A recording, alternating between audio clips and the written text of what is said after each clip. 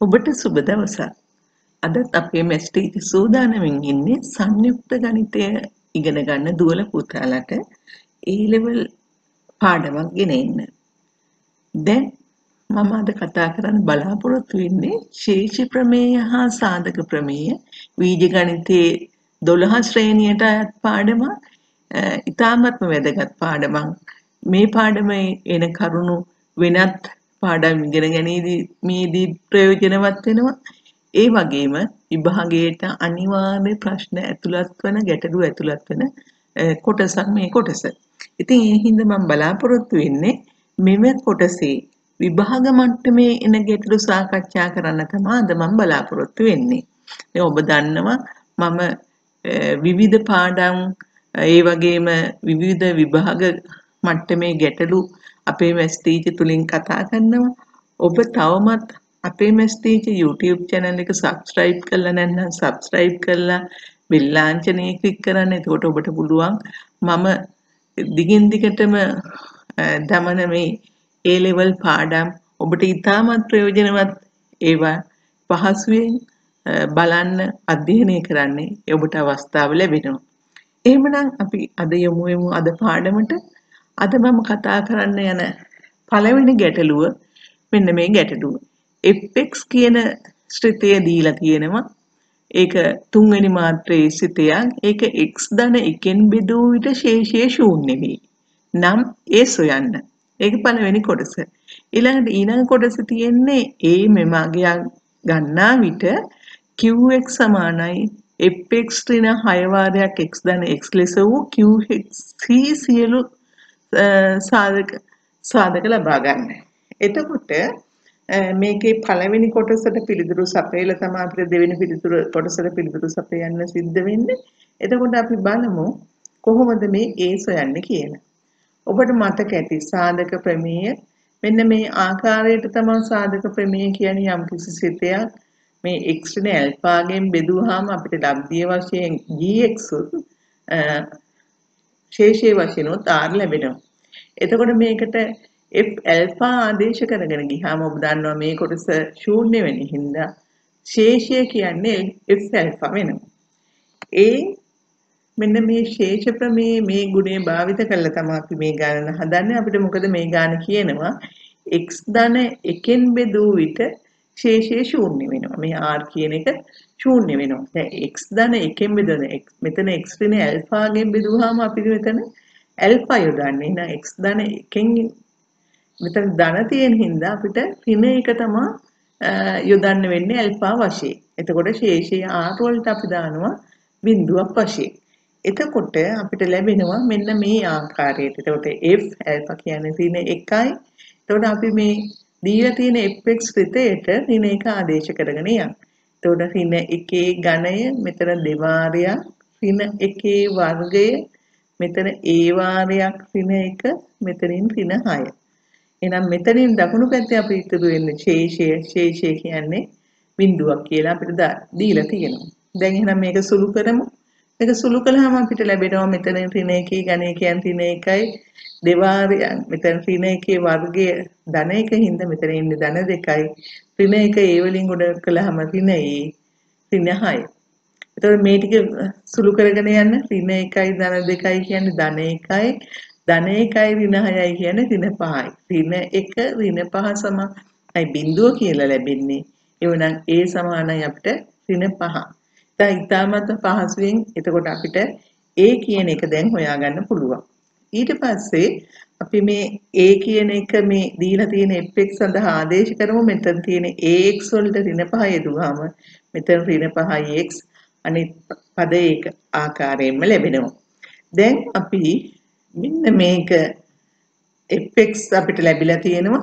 දැන් අපිට qx තමයි හොයන්න තියෙන්නේ. qx අපිට කියනවා fx ඍණ 6 වාරයක් x ධන 1 ආකාරයටලු තියෙන්නේ.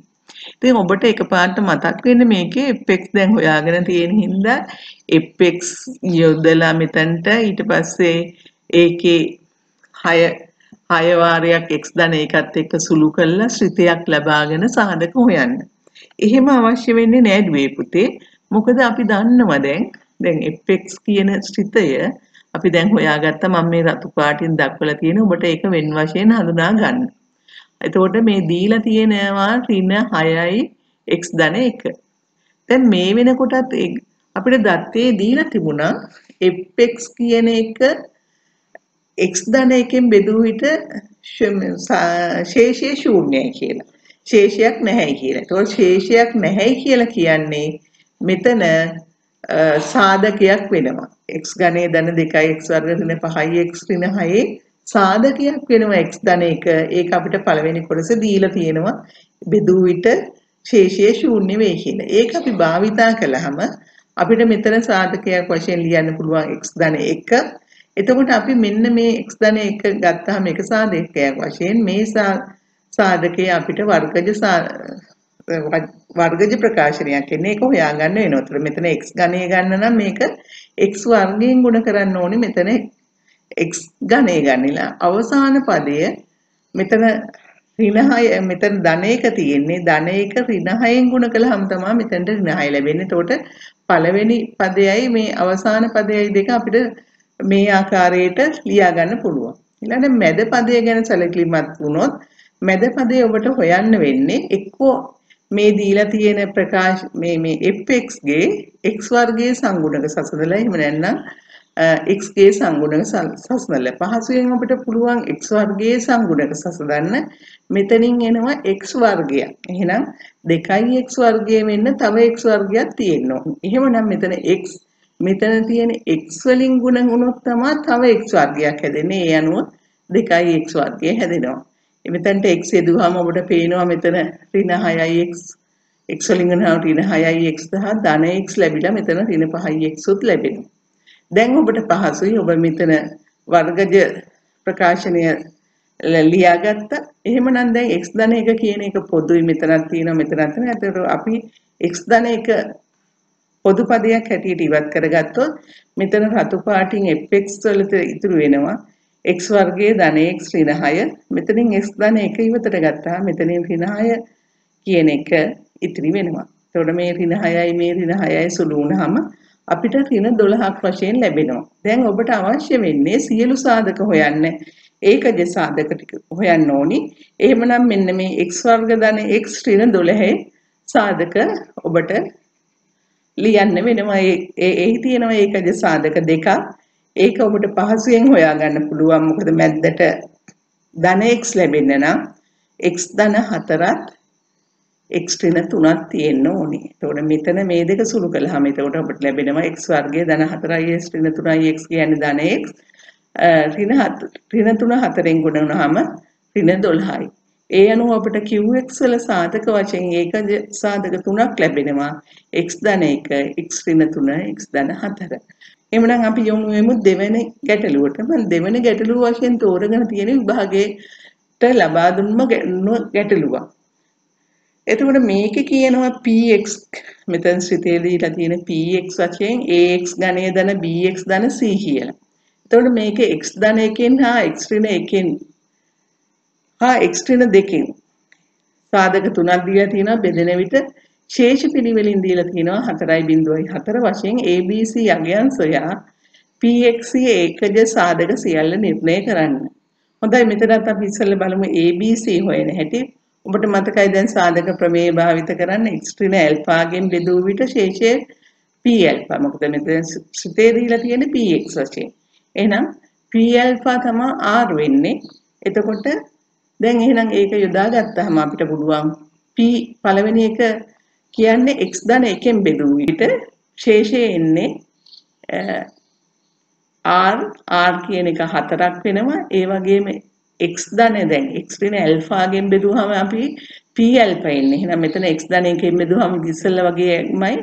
ඇල්ෆා කියන එක ඍණ එක වෙන්නේ. එහෙනම් p ඍණ එක වශයෙන් එනවා. A මෙතන x වලට ඍණ එක ආදේශ කළාම ඍණ එකේ තුන්වෙනි බලය b වලට ඍණ එක ආදේශ කරන්න c කියන එක නියතයක් එහෙනම් ඒක r ට සමාන වෙනවා. හතරට සමාන වෙනවා. ඒක දීලා තියෙනවා.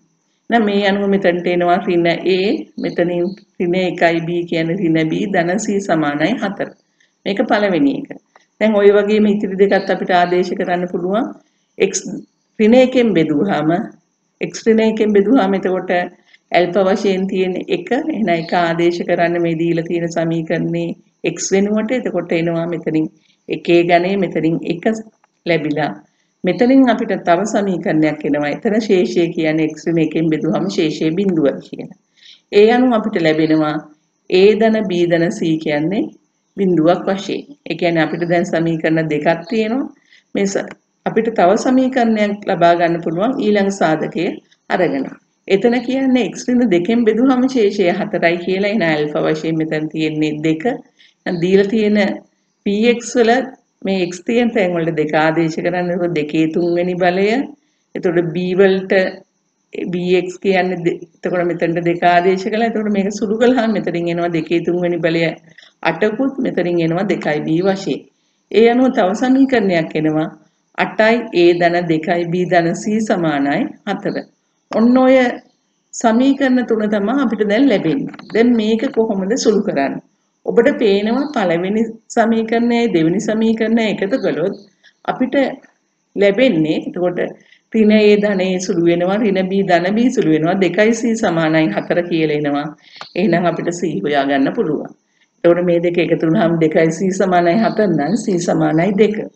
දැන් ඊළඟට මෙම් C ගේ අගය අපිට පුළුවන් තුන්වෙනි සමීකරණය ආදේශ කරන්න. එතකොට එනවා 8A ධන 2B ධන දෙක සමානයි 4 වශයෙන්. ඒ කියන්නේ එතකොට 8A ධන 2B කියන්නේ 2 කියලා ලැබෙනවා. දැන් එතකොට එතකොට 8A ධන 2B කියන එක නැවතත් අපිට දෙකෙන් බෙදුවාම අපිට එනවා 4A ධන B කියන්නේ 1යි. අපි ඒක හතරවෙනි සමීකරණයේ වශයෙන් තියාගමු.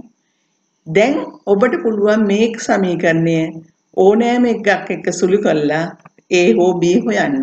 අපි දැන් අපි හොයමු A හොයන්න 1යි 4යි එකතු කරමු. 1යි 4යි එකතු කළාම මෙතනින් එන්න ඍණ A ධන 4යි කියන්නේ 3යි A.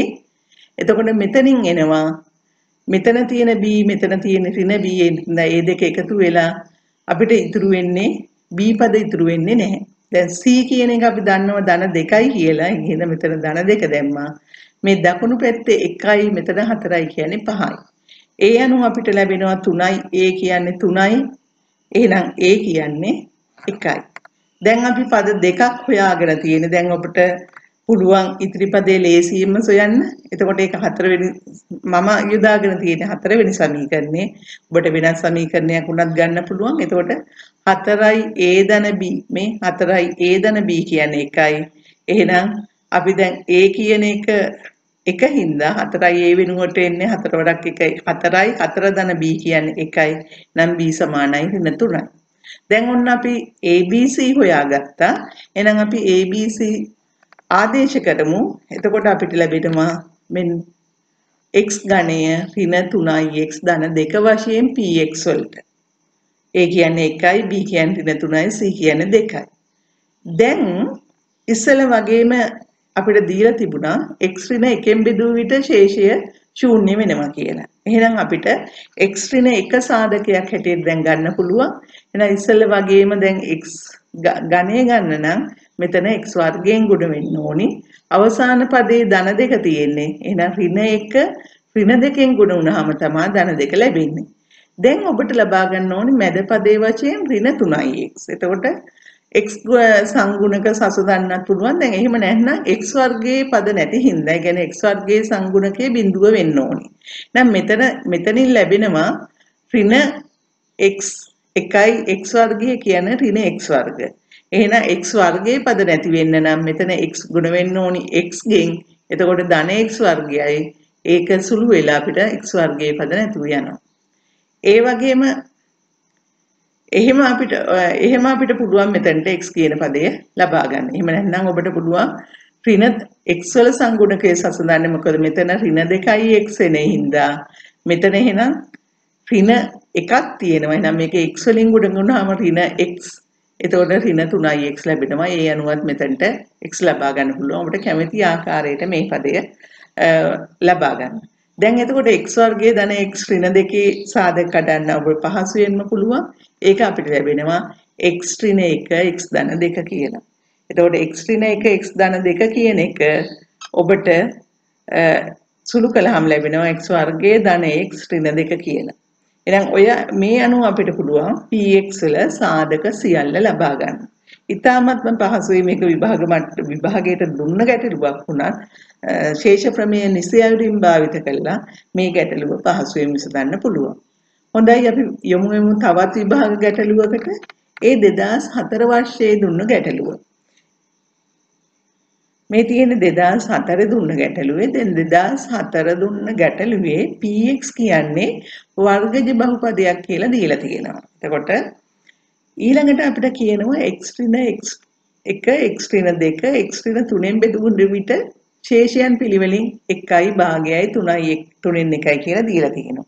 ඊළඟට කියලා තියෙනවා මේ x ඍණ 1 x ඍණ 2 හා x ඍණ 3 මේ qx කියලා ශ්‍රිතයක් තියෙනවලු x වාරයක් px ඍණ 1 මගින් දෙනවලු එහෙමනම් qx බහුපදයේ සාධක බව පෙන්වන්නලු මේ x ඍණ 1යි x ඍණ 2යි x ඍණ 3යි මොකද මේ මුලින් දීලා තියෙන මේ x මේ 3 ඒකජ සාධක 3 px ගේ සාධක වෙන්නේ මොකද ශේෂ තියෙන හින්දා අපිට කියන්නේ ඒක qx ගේ සාධක බව පෙන්වන්න කියලා ඊළඟට එහෙම අරගෙන අපිට කියනවා එනයින් qx හොයන්න කියලා. එතකොට ඉස්සෙල්ලා ගැටලුවට වඩා පොඩි වෙනස්කම් මේ ගැටලුවේ තියෙනවා. නමුත් අපිට ඉස්සෙල්ලා භාවිත කළ ශේෂ ප්‍රමේය මේ භාවිත කරන්න පුළුවන්. එතකොට r කියන්නේ අපි දැන් දන්නවා p ඇල්ෆා. අපිට දීලා තියෙන ශ්‍රිතය p දැන් ශ්‍රිතය මෙතන වර්ගජ බහුපදයක් කියනවා මිස ශ්‍රිතය දෙන්නේ නැහැ. ඒ හින්දා අපිට මේක x ඍණ එකෙන් බෙදුවාම ඇල්ෆා කියන්නේ 1යි එහෙනම් p 1 කියන්නේ ඒකේ ශේෂය 1යි. මොකද ඉස්සෙල්ලා වගේ අපිට අර ආදේශ කරලා ගන්න බෑ මෙතන මොකද අපි දන්නේ නෑ px කියන්නේ මොකක්ද කියලා. එතකොට p1 කියන්නේ 1යි. එහෙනම් ඊළඟට කියනවා x ඍණ දෙකෙන් බෙදුවාම ඒ කියන්නේ ඇල්ෆා 2යි. එහෙනම් p2 කියන්නේ ශේෂයේ භාගයක් කියලා දීලා තියෙනවා. ඒ වගේම x ඍණ 3ෙන් බෙදුවාම ඇල්ෆා කියන්නේ 3යි ශේෂය 3න් එකක් කියලා දීලා තියෙනවා. එහෙනම් අපිට P1 සමානයි 1 P2 සමානයි භාගය සහ P3 සමානයි 3න් 1 වශයෙන් ලැබෙනවා. දැන් අපි සැලකිලිමත් වෙන්න ඕනේ Qx ගැන. දැන් Qx කියන්නේ x වාරයක් Px ඍණ 1. එහෙමනම් දැන් අපි බලමු මෙතන x වලට ඉස්සෙල්ලා අපි දැන් x ඍණ 1 x ඍණ 2 x ඍණ 3 කියන ඒවා සාධක කියලා පෙන්වන්න තියෙනවනේ. අපිට දත්ත වශයෙන් තියෙන P1 P2 P3 තමයි දත්ත වශයෙන් යොදා ගන්න තියෙන්නේ. එහෙනම් අපි x සමානයි 1 යෙදුවාම Q1 වශයෙන් ලැබෙනවා 1යි P1 ඍණ 1. දැන් P1 කියන එක අපි දන්නවා 1යි කියලා. මෙතනදී අපි ලබාගෙන තියෙනවා. එහෙනම් එතනට එක ආදේශ කළාම 1 අඩු කිරීම 1 කියන්නේ ශූන්‍යයි. Q1 කියන්නේ ශූන්‍ය නම් එහෙනම් x ඍණ 1 බෙදුවාම Q1 ශේෂයේ වශයෙන් ලැබෙන්නේ ශූන්‍ය. ඒ කියන්නේ එහෙනම් x ඍණ 1 කියන එක සාධකයක් වෙනවා. Qx සාධකයක් වෙනවා. එහෙනම් අපි බලමු ඔය විදිහටම x ඍණ 2. දැන් p2 කියන්නේ භාගයයි අපි දන්නවා qx කියන්නේ xpx ඍණ භාගය. දැන් එහෙනම් x වෙනුවට දෙක ආදේශ කරන්න qx වලදී. එතකොට Q2 කියන්නේ දෙවාරයක් P2 ඍණ 1. මෙතන x වලට දෙක ආදේශ කළා. නැවතත් අපි දන්නවා P2 කියන්නේ භාගයයි. එහෙනම් දෙක භාගයෙන් ගුණ කළාම එකක් වශයෙන් ලැබෙනවා. එක ඍණ 1 කියන්නේ ශූන්‍යයි. එහෙනම් Q2 කියන්නේ ශූන්‍ය නම් x ඍණ දෙකත් Q QX සාධකයක් වෙනවා. ඔය ආකාරයටම අපිට පුළුවන් x ඍණ 3 ලබා ගන්න සාධකයක් හැටියට එතකොට px කියන්නේ 3n එකයි qx කියන්නේ xpx ඍණ එක. එහෙනම් s සඳහා 3 ආදේශ කරන්න 3 වාරයක් p3 ඍණ එකයි. p3 කියන්නේ 3n එකයි. එතකොට 3 3n එකෙන් ගුණ කළාම 1යි 1 ඍණ එක කියන්නේ ශූන්‍යයි. ඒ අනුව අපිට ලැබෙනවා x ඍණ 3ත් qx සාධකයක් කියලා. ඒ කියන්නේ p ඇල්ෆා සමානයි ශූන්‍ය නම් අපි දන්නවා ඒක x ඍණ ඇල්ෆා කියන එක සාධකයක් කියන එක. දැන් ඔන්න අපි QX සාධක තුනක් ලබා ගත්තා.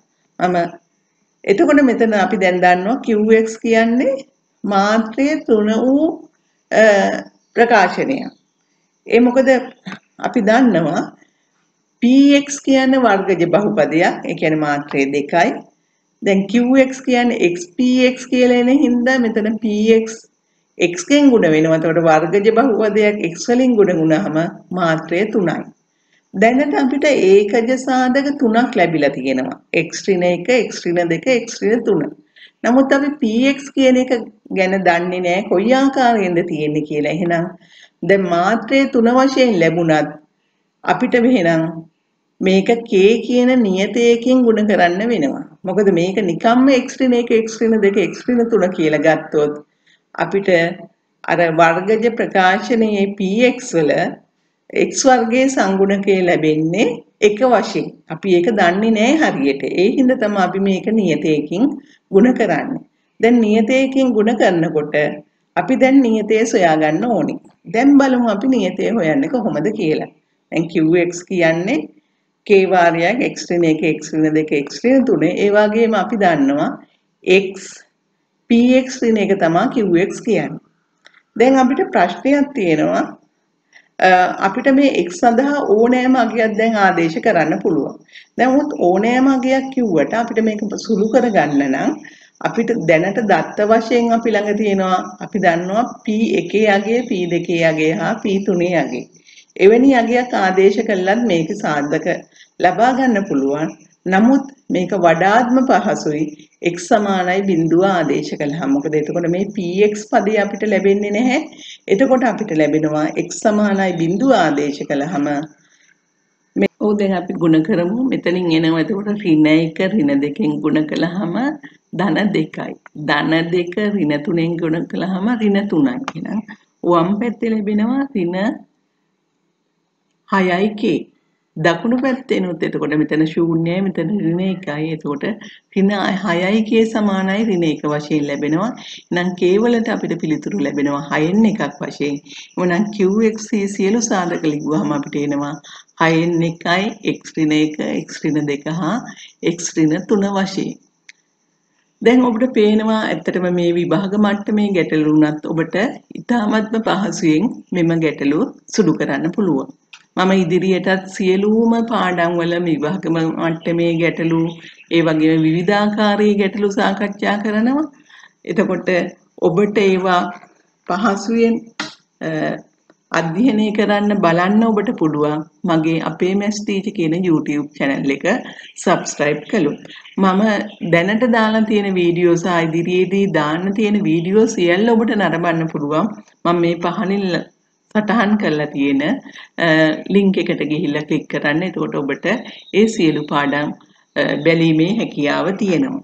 ඒ වගේම ඔබ දන්නවා ඇති මම මේ channel එකකින් A level, O level, IQ එතකොට පහසු සුළු කිරීම ක්‍රම ඔය වගේ නොයෙක් විදිහේ ගැටලු ඉතාමත්ම පහසුවෙන් විසඳන ක්‍රම උගන්වනවා. එතකොට ඔබට ඔබේ පවුලේ සියලුම දෙනාට ඉතාමත්ම වැදගත් වන channel එකක්.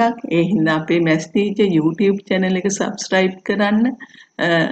ඒ වගේම බෙල් ලාංඡනය ක්ලික් කරන්න. ඔබට එතකොට සියලු වීඩියෝ පහසුවෙන් නැරඹීමේ හැකියාව ලැබෙනවා. ඒ එක්කම මම මතක් කරනවා ඔබට මෙන්න පාඩමේ හෝ ඒ ලෙවල් වෙනත් පාඩමක හෝ යම්කිසි ගැටලුවක් තියෙනවා නම් පහත තියෙන කමෙන්ට් කියන තීරයේ ඔබේ අදහස් මා වෙත යොමු කරන්න මම ඊට පිළිතුරු සපයන්න සූදානමින් ඉන්නවා. ඒ ලෙවල් ජය ගන්න ඔබට අවශ්‍ය දේ පහසුවෙන් උගන්වන්න මම ඔබත් එක්ක සම්බන්ධ වෙනවා. නැවත හමු වෙමු. ඔබට ජය.